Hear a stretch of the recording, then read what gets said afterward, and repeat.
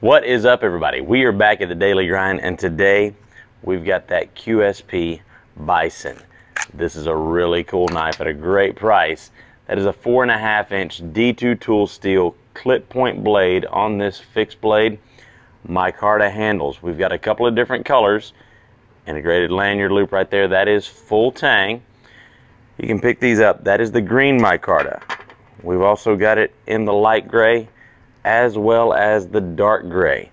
These come with the Kydex sheath, with the drop loop, as well as the multi-clip right there. Adjustable size for belt. You can pick these up in our store and on our website, 7988 at smkw.com.